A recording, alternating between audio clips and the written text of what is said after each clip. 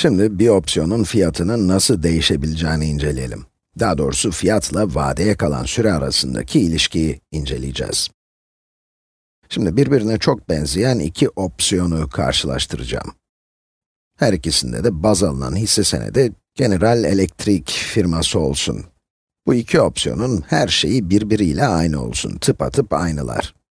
Tek farkları vadeleri olsun. Opsiyonlardan birinin vadesinin diğerinden daha uzun olduğunu düşünelim. Şimdi bu iki opsiyonu karşılaştıralım.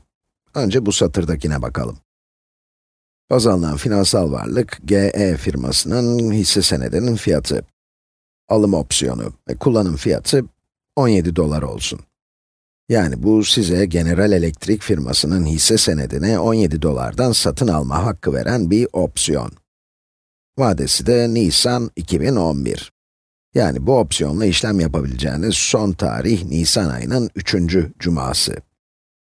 Buradaki opsiyonda vade hariç aynı özelliklere sahip. Yani alım opsiyonu, General Electric hisse senedi, 17 dolar kullanım fiyatı ama bu opsiyonun vadesi Aralık 2011. Yani bu tabloda kullanım fiyatının 17 dolar olduğu yeri bulacağız. Ve tabloda görebilirsiniz ki vadesi daha uzun olan opsiyonun fiyatı daha yüksek. Vadesi uzun olanın fiyatı 3,25 dolar, 3 dolar 25 cent, oysa daha kısa vadeli olan opsiyonun fiyatı sadece 2.36. Aradaki fiyat farkı vadeye kalan sürenin farklı olmasından kaynaklanıyor. Hisse senedinin fiyatına ilişkin hayali bir grafik çizelim.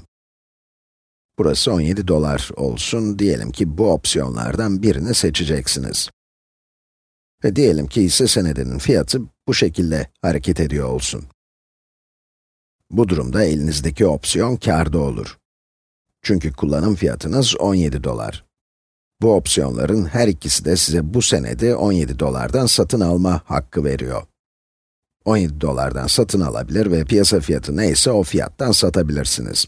Belki piyasa fiyatı 20 dolar, yani kârdasınız. Ama eğer elinizdeki diğer opsiyon daha kısa vadeli olansa, Nisan 2011 vadeli opsiyona sahipseniz, opsiyonu hemen kullanmalısınız.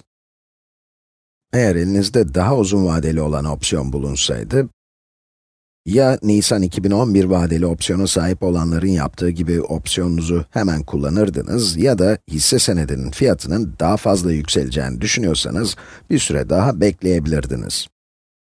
Bir de şimdi kötümser senaryo nasıl olurdu diye bir düşünelim. Belki hisse senedinin fiyatı bu şekilde hareket ediyor. Opsiyon da zararda hale geldi. Zararda hale gelmek tabii ne demekti onu hatırlayalım. Yani spot fiyat kullanım fiyatının altında. Elinde kısa vadeli opsiyon olan zararda olacak. Zira elindeki opsiyonun bu koşullarda hiçbir değeri yok.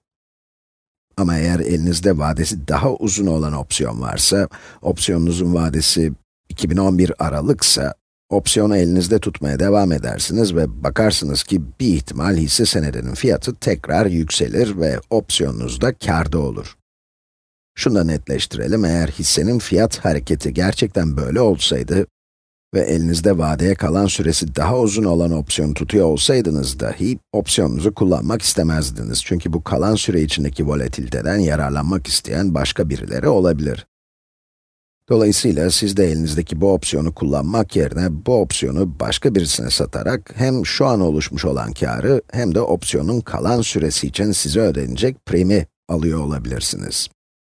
Bir sonraki videoda görüşmek üzere. Hoşçakalın.